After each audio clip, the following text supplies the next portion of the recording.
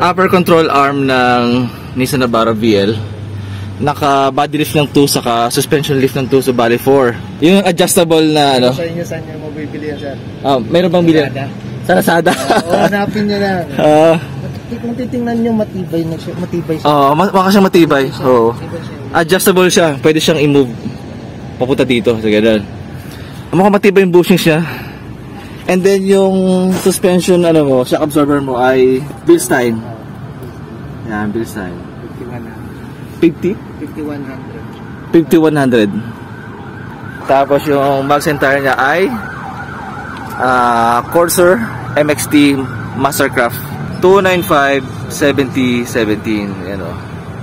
And then SSR Ganda ng promo niya, actually laki. Dadagang Proporex eh pagka ganyan. Yan. Navarro BL 4 4x4.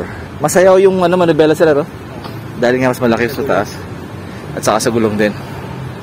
So, in-upgrade natin ito kay Kamaneo. Adjustable upper trailing arm. Ano, meron din siyang adjustable upper trailing arm.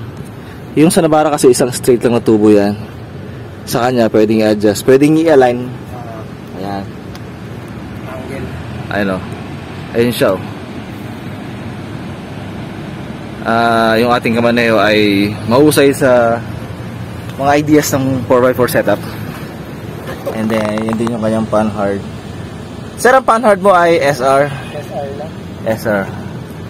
Yan, suspension. Ang suspension mo sa likod sa rin din. Bilstein. Bilstein din yung suspension niya. Diba? Bilstein suspension saka Ironman na spring. Yeah. Sarap ng 4x4. Iba. Iba talaga. Yeah.